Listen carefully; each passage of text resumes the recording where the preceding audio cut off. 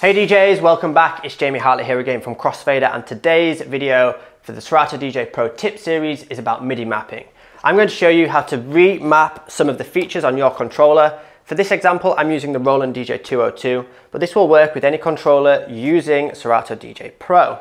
Now, I'm not a fan of how the saved loops are mapped out on this controller in particular, so I'm going to use this as an example for how to remap out the features that I want to the pads that I want.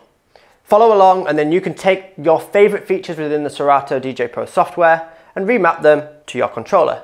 This is great for entry-level controllers like this that don't already have buttons or pad modes for the features that you like to use. Remember to like, share, comment and subscribe, do all that good stuff to help us keep making videos like this. Let's take a closer look. Out of the box, the Roland DJ 202 has its save loops pad mode hidden away. I like to use save loops and I want easier access to them. To access them currently, I would have to press the loop pad mode button twice. The top four pads are then mapped out as follows. First pad, toggle loop on or off. Second pad, save a new loop. Third or fourth pads to scroll up and down the list. Instead of this mapping, I want to be able to access save loops by pressing the loop pad mode once.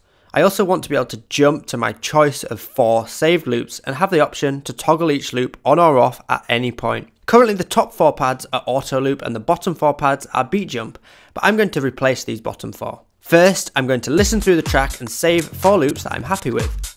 By clicking the plus button in save loops, you can store any set loop. A quick tip on preparation here, I'm looking for different phrases within this song that are all different energy levels.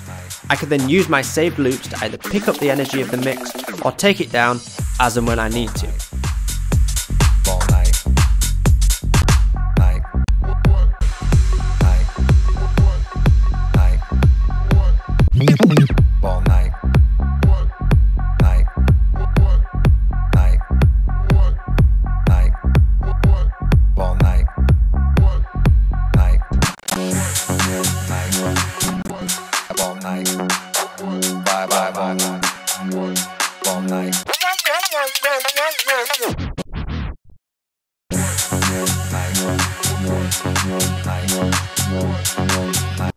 Before mapping, let's explain what the buttons do on the saved loops. The one with the loop and play icon inside will jump to that point in the track and set off the loop. The icon next to it will toggle the loop on or off. These are the two buttons I want to map out for each loop slot. Navigate to the gear icon in Serato, then to the MIDI tab and make sure to select your controller and check the Allow Serato Hardware Remapping box. Now exit the settings and click the MIDI button to the left of the gear icon. Move your cursor back over the loop buttons and select the first one. When the blue box appears, press the pad you want to assign to that action. Just make sure you're already inside the right pad mode before pressing MIDI. Now to repeat for each loop button. Once that's done, exit MIDI mode and check your new pad mappings work.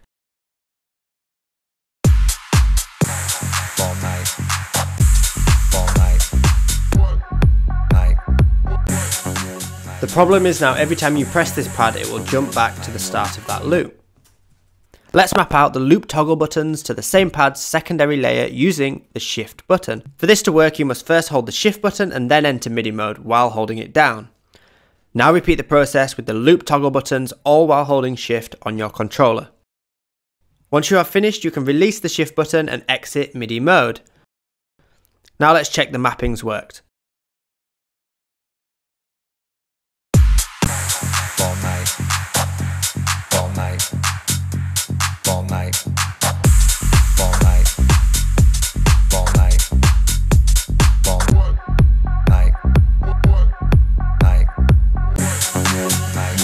I'm happy with that. You could then repeat this process for any other features within the Serato DJ Pro software.